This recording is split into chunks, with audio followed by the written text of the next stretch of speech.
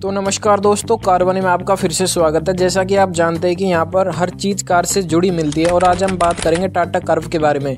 Tata Motors ने ये तो तय कर दिया कि वो सी एस सेगमेंट में धमाल मचाई देंगे। तो चलिए शुरू करते बिना कुछ सोचे समझे। तो सबसे पहले डिज़ाइन की बात करते हैं। टाटा कर्व अपने कप एस डिज़ाइन के साथ मार्केट में पूरा आग लगा रहा है। LED day time running lights जो पूरी विथ में स्ट्रेच होती है। आईसी वर्जन के लिए एक अलग चेकवर्ड ग्रिल और शर्प लाइंस और क्रीसेस ये एक बिल्कुल नया लुक है हमारे लिए और दोस्तों ये शायद मार्केट में आता ही पूरा धमाल मचा देगा।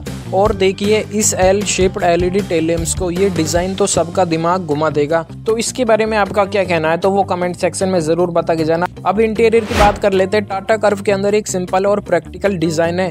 एक floating infotainment system centre stage पर है। साथ ही दो spoke steering wheel media controls के साथ और एलुमिनेटेड लोगो भी मिलेगा। Touch sensitive H V A C controls panoramic sunroof और पावर्ड टेलगेट्स ये कंफर्ट और स्टाइल का मेल तो क्या कहना है इसके बारे में भी? चलो अब आगे बात करते हैं इसके पावर ट्रेन के बारे में। तो दोस्तों बोनेट के नीचे कर्व इलेक्ट्रिक और इंटरनल कंबस्टन इंजन दोनों पावर ट्रेन के साथ आता है। इलेक्ट्रिक वर्जन में आपको मिलने वाला है 50 के डब्ल्यू एच या 60 के डब्ल्यू एच का बैटरी पैक और इसकी रेंज की बात करते हैं तो वो 400 किलोमीटर तक की रहने वाली है। आईसी वेरियंट में confirm 1.5 litre turbo petrol engine मिलने वाला है, जो देती है 167 हॉर्स पावर और 280 न्यूटन मीटर स्टर्ग और ट्रांसमिशन ऑप्शन में मैनुअल और dual clutch automatic gear box और मेरे प्यारे दोस्तों परफॉर्मेंस और स्टाइल का परफेक्ट कॉम्बो है टाटा कर्व बेटर एरोडाइनमिक के साथ ईवी एक एफिशिएंट और इको फ्रेंडली राइड प्रॉमिस करता है, जबकि पावरफुल आईसी वेरिएंट में एक थ्रिलिंग ड्राइविंग एक्सपीरियंस हमको देने वाला है। टाटा ने इसके इंजन को भी ऑटो एक्सपोज नहीं किया है। दोस्तों, हम भी देखेंगे इसको असली रोड पर कैसे परफॉर्म करती है।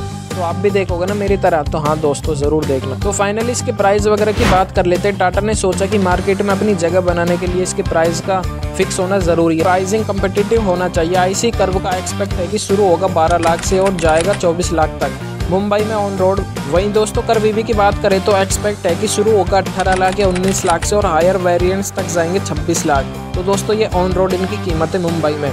तो ये रही सी एस सेगमेंट की एक झलक जो लाएगी अपने साथ स्टाइल और परफॉर्मेंस अगर आप भी उतनी एक्साइटेड जितने हम तो लाइक करना मत भूलिए। कारवानी को सब्सक्राइब कीजिए और रहिए हमारे साथ, क्योंकि ये कर्व है, वो जो गेम चेंज करने वाली है। अब मिलेंगे आपसे अगली बार। तब तक के लिए सेफ़ ड्राइव और कार्स में पैशन बनाए रखे।